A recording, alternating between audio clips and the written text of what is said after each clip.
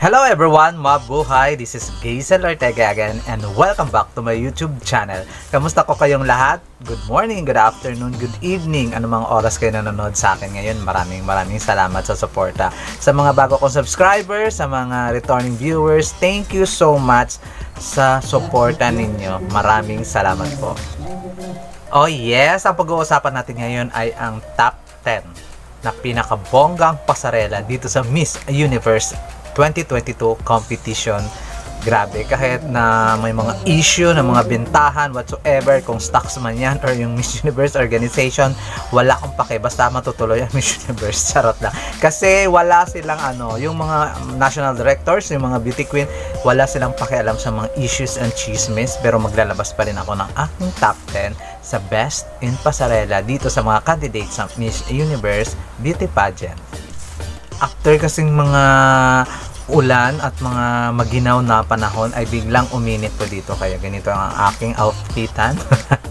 Kasi my God, sobrang init as in. At saka ayan, maingay sa paligid ko kasi may nagba-basketball sa kapitbahay, o di ba? With matching microphone. So kayo magtiis na lang kayo diyan ng mga background ko kasi hindi ko hawak ang mundo. Ngayon simulan na natin guys yung top 10 ko sa best in pasarela. Ito guys yung mga top 10 ko na to, um, hindi po lahat nakita ko ah basis lang to sa lahat ng nakita ko na nagpasarela. Yun lang po yung chinudge ko.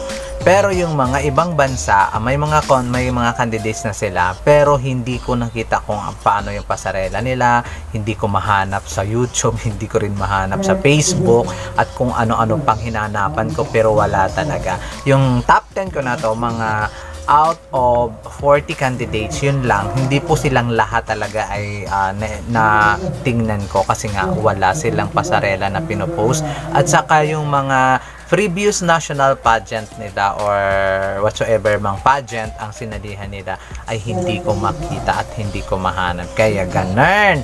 My number 10 on my list, the best in pasarela, Brazil. Si Brazil guys, one of the best pasarela sa nakita ko. Kahit gitera tong babae na to, go pa rin tayo kasi so, ang basis naman natin ngayon ay best in pasarela kaya pasok siya sa aking top 10. My number 10, Brazil.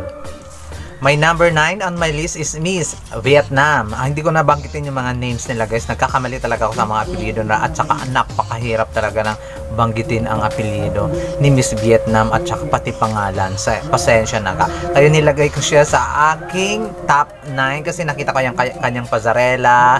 Um, nandoon nag-judge yung Miss Universe Organization kaya pasok siya sa aking top 10 pasarela kasi bongga naman din talaga ito si Miss Vietnam. My number 8 on my list is Miss Panama Solares Barba. Um, nung Miss World uh, 2018, okay na yung pasarela niya. Tapos, etong pinalabas ng mga bagong pasarela eh bongga na. Yung biglang bumongga yung pasarela ni Miss Panama. O di ba? Nakakaloka. Pero si Miss Panama sa mga ibang prediction ay eh, talagang medyo mababala kumbaga na-underestimate nila yung kakayanan ni Miss Panama. Pero so far sa best in pasarela sa akin Panama is number 8 my number 7 on my list is Miss Thailand Ana hindi ko alam apelyido. Actually, alam ko na may apelyido guys. Hindi ko lang mabasa. Ayoko lang mag-trying hard dito. si Catriona nga nagkakamali ng pagbigkas ng mga apelyido whatsoever mang bano yan. Ako pa kaya. Nakakaloka. Basta, Miss Thailand on my number 7. Talagang um, okay na yung kanyang pasarela pero may improve pa. Talagang yon kumbaga Miss Thailand na talaga yung eksena niya. Um, doon talaga siya magaling. At so far sa pinadala ng Thailand since uh, uh, ano ba? Yung 2016 siya ang pinaka uh, para sa akin yung pinaka bongga hindi naman sa iba kasi ayaw nila talaga kay ano kay Ann. Yung mga ibang mga vlogger mga ano yung mga ibang analyst ayaw nila kay Ann kasi gustong gusto nga nila si ano yung Chaka. Charot Sino ba yon? Nakalimutan ko talaga. Si Nicolene. Oh, si Nicolene. Gusto nila yun. Eh, hindi ko nga bet yun. Eh, etong si Ann, bonggang-bongga ito. Bongga yung kanyang pasarela. At saka ang ganda-ganda. Hindi nila yun matanggap ng mga ibang mga pageant vlogger and pageant analyst. So, hindi nila pinapasok ayaw daw nila tinisita. Pero so far, after 2016, siya ang pinakagusto kong Thai na lumaban at may chance talaga siya sa Miss Universe Beauty Pageant. Nilagay ko siya sa aking number 7 sa Best in Pasarela. My number 6 on my list is Miss Venezuela, Amanda Dodamel. Guys, um, nung unang nakita ko si Amanda Dodamel, uh, wala siyang masyadong stage presence, pero magaling na talaga yung kanyang pasarela. Kumbaga, wala lang talagang impact. Pero sa latest niyang pinalabas, about sa pasarela niya, ay ang bongga na. Talagang kabugera din talaga ito. Ayaw talaga magpakagug basta Latina. Kaya, what do you expect? Latina is the key. Sa pasarela lang talaga ang pag-uusapan. Nandyan halos sa lahat ang mga Latina. Yung ibang mga Latina lang talaga wala akong mga ano mga clips na pasarelang nakita nila kasi mga appointed lang yung iba tapos hindi naman talaga magaling yung mga European obviously hindi naman talaga sila magaling magpasarela kaya siya ang aking number 6 Miss Venezuela Amanda Dodamel Pumunta naman tayo guys sa aking top 5. Kahit maingay sa paligid, ako na lang yung unawain nyo at saka intindihin. Charos lang. Maingay talaga dito sa paligid ko. May tumatahol na aso, may mga pusa, may butike, may nagsisalita sa kabilang bahay, may announcement, may nagsisigawan. Ganun talaga ang eksena sa paligid ko. Kaya pagpasensya nyo na. May umiiyak na bata, may mga ganun talaga. My number 5 on my list sa Best in Pasarela is Miss Philippines, Celeste Cortesi. Um, si Celeste, pulido na talaga yung pasarela niya. Kumbaga, wala naman tayong ka, ano pa, uh, ano ba tawag doon? Wala na tayong problema when it comes to pasarela kasi kaya niya nang dalhin yung sarili niya, kaya niya yung mga walk niya. Ang problema ko lang kay Celeste, wala siyang signature walk. Unlike mga previous ano natin, mga beauty queens since uh, Venus Ra na may mga pilapil walk hanggang kay Miss Abea, grabe, uh, mga walk nila talaga ay mga pasabog. Itong si Miss Celeste Cortesi, walang um, signature walk. Uh, sana pag pumasok na siya sa Miss Universe, ilalaban na siya, eh talagang magpasabog siya at magpapangalan siya ng kanyang walk para bongga. Hindi naman masyadong importante yung pangalan ng walk. Ang mahalaga lang yung signature walk talaga ng isang contestant. My number 4 on my list is Miss Peru, Alicia Roveno.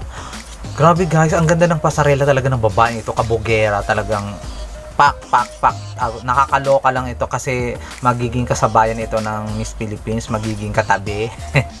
Kaya kailangan kabugera. Kailangan kabog din si Miss Philippines. Hindi pwedeng ganun-ganun na lang ang usapan. Kasi si Miss Pero nakakaloka talaga yung pasarela nito. Talagang dumuduyan at parang lumulutang lang ang eksena niya when it comes sa pasarela. Pero nilagay ko siya sa number 4 ko. Miss Pero. My number 3 on my list is Miss Chile, Sofia de Pasier. Oh my God guys, parang same as Peru na si Miss Alicia Talagang pag nasa stage siya, lumulutang, dumuduyan. Ang problema, mas bongga ito. Maganda. Maganda si Miss Chile. Talagang um, stage presence is, oh my gosh. Talagang ganun talaga pak na pak ang eksena kaya nilagay ko siya sa aking number 3 kasi wala namang problema talaga sa pasarela dito eh, hindi na kailangan ng pag-practicean Yes, hindi na kailangan ng practice. Ang kailangan lang talaga ni Miss uh, Chile, uh, bonggahin ang kanyang com skills and everything. Pero pasarela, mm, perfection. My number two on my list, nakakaloka. One of the best girl when it comes to pasarela. One of the best country when it comes to pasarela. Colombia. Maria Fernanda Aristizabal Oh my gosh. Grabe yung pasarela. Since 2019 talaga, inaabangan ko talaga siya sa Miss Universe. Um, kasi laban dapat siya ng 2020, kaya lang iba ang inilaban, kakaloka. Nag-ibang pageant. So talagang bonggang-bongga talaga itong si Maria Fernanda Aristizabal when it comes to stage presence and pasarela. Talagang pak na pak. Lalo siyang gumaganda when it comes sa catwalk. Yes, ganun yung dating niya. Ang galing-galing talaga niya when it comes to pasarela. Kaya walang duda talaga na ipinagmamayabang niya yung kanyang eksena dito sa mga Latinas na siya ang pinakabongga magpasarela. Pero para sa akin, pangalawa lang siya may pinakabongga pa. My number one on my list, oh my god, this is it. Best in pasarela ever dito sa competition na to. At kahit ah, sa iba pang mga edition ng Miss Universe, kasama siya sa pinakabongga ng pasarela. My number one on my list, Puerto Rico, Ashley Carino. Grabe! Wala na guys. Kasi Hodang lumaban pa si Maria Fernanda Ristabsabal sa kanya ng one-on-one. Charot lang. Panalo talaga ito. Panalo talaga si Puerto Rico. Um, swimsuit competition, kaya niyang lamunin ng buong buo yung mga basta, ganun siya kagaling. Ganun to siya galing sa pasarela, lalo na sa swimsuit.